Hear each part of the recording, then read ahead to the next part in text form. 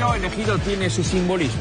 Los partidos catalanes que promueven el referéndum se han reunido en la sala Mara de Déu de Montserrat en el Palau de la Generalitat.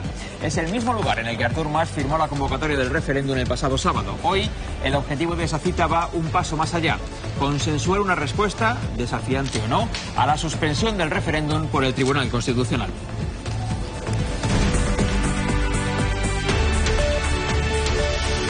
Buenas tardes. La reunión se ha iniciado justo después de que se haya publicado otro decreto de Artur Mas sobre la Junta Electoral de la Consulta. El Gobierno central considera que ese decreto puede saltarse la suspensión del Constitucional y, por lo tanto, lo impugnará.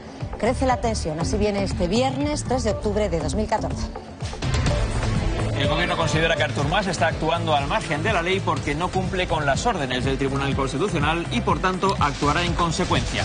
La batalla política se convierte también en una batalla legal entre el gobierno central y el autonómico. Los partidarios del referéndum mantienen de momento el desafío y no desconvocan la consulta.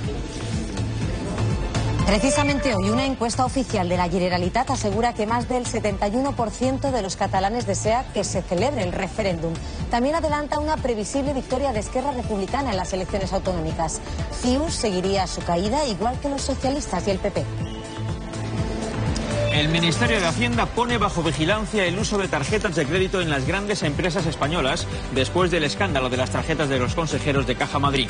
Este caso ha provocado ya seis dimisiones, entre ellas las de un dirigente de UGT, otro de comisiones obreras e incluso un alto cargo del propio Ministerio de Hacienda. Prefiero una mujer de más de 45 o de menos de 25 y como se quede embarazada nos encontramos con el problema.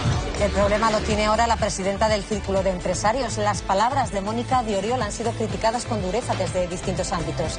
Escucharemos a los sindicatos y veremos la oleada de indignación que ha levantado en las redes sociales esa manifestación de una mujer que, por cierto, no es un dato menor, ha tenido seis hijos. El gobierno prepara ya un recurso contra la consulta anunciada por el presidente canario. Más allá del debate sobre la legalidad de ese referéndum, la cuestión planteada por Paulino Rivero ha generado un curioso debate en las islas. Muchos no entienden lo que quieren preguntarles. El día en el que se abre la puerta al diálogo entre los manifestantes y las autoridades, se registran los primeros incidentes entre los ciudadanos.